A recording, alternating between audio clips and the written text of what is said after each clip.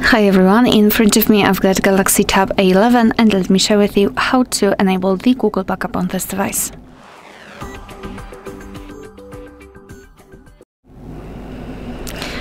So uh, let's begin with opening the settings and here in this left section we have to scroll down and find the option Accounts and Backup.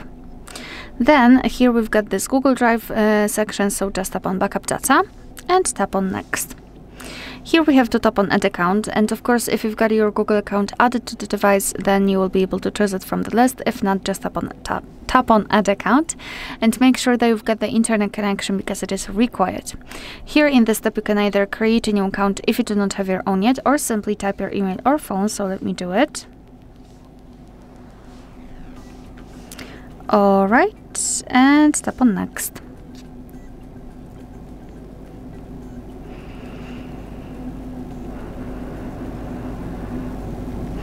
Alright, uh, so right here we have to enter the password and let me do this out of the screen.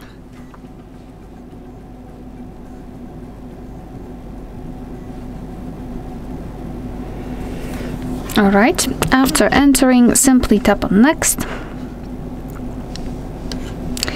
Uh, so here we have to decide who will be using this device, so just mark the option and then tap on next.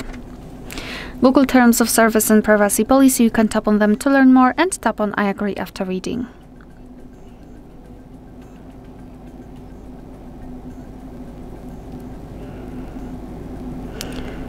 Uh, so here we can decide what kind of data we'd like to backup. So you can choose photos and videos, other device data, or both.